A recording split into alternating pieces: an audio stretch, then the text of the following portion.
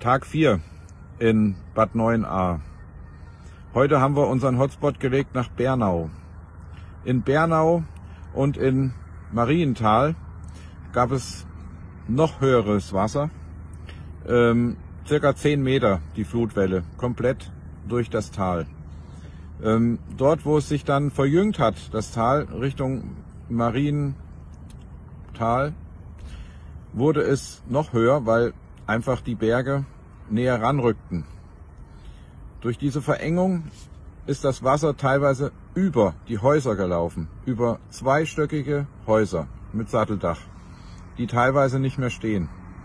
Dort in dem Bereich haben wir heute, heute früh eine Meldung bekommen, die Straßen seien besenrein. Aber glaubt mir, ich, ich konnte das einfach nicht glauben und bin hingefahren. Und es war gut so. Wir konnten jetzt schon wieder einige Großtechnikbagger, 30 Tonnen, Radlader, Schlepper natürlich, unheimlich viele Landwirte dorthin schicken, Leute mit Motorsägen und ein Versorgungstrupp.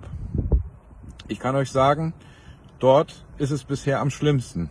Und in den Häusern vermuten wir auch noch Menschen, leider nicht mehr lebend. Das ist ein kurzer Bericht. Ähm, derzeit fliegt wohl Frau Merkel hier einen schönen Sonntagsfluch ähm, über uns. Ähm, dazu sage ich nichts mehr. Das lohnt nicht. Also, äh, wir brauchen die kommende Woche ähm, noch weitere Helfer, weil viele werden heute abrücken, weil die müssen morgen auch wieder Geld verdienen. Es sei denn, sie finden einen Arbeitgeber, der ihnen ja Arbeitszeit bezahlte für hier zur Verfügung stellt.